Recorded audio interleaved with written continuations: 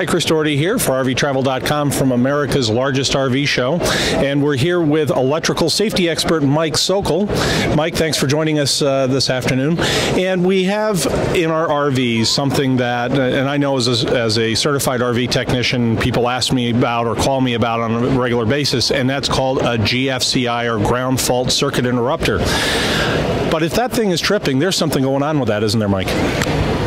It is, and a lot of times people will blame the, the, ground fault interrupt itself and say it's randomly tripping.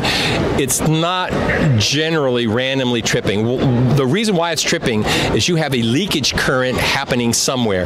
It could be water in an electrical box, it could be a wire that's rubbed through and then it's bare, but it means that it's, it's attempting to save your life. So never bypass a ground fault interrupt or replace it with a standard outlet. It's required by code.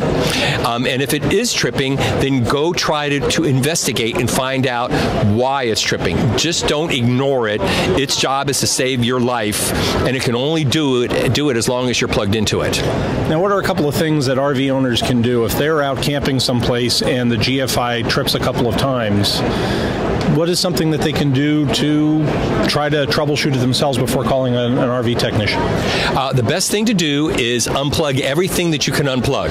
That is, if you have an, an outside extension cord hooked to uh, a hot cooker or whatever it may be, unplug everything, turn off all circuit breakers, and then turn on one circuit breaker at a time.